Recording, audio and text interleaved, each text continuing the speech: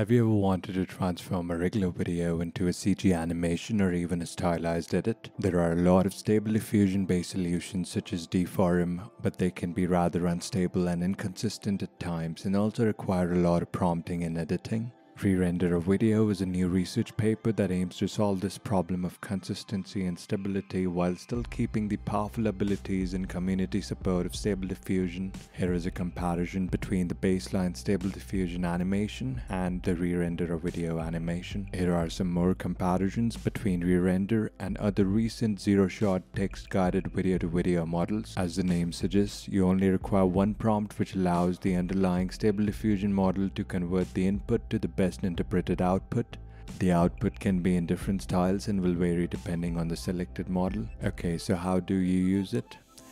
The author has made a public Hugging Face page. Unfortunately, as the paper has not been published yet, the actual code is unavailable and the Hugging Face demo is very, very limited. All of this should be resolved by around late August when the paper as well as the code gets published. Regardless, if you still want to try, here are the instructions. You first need an input video. After that, enter the prompt. First click on run the first keyframe to see if you like the art style of the converted video.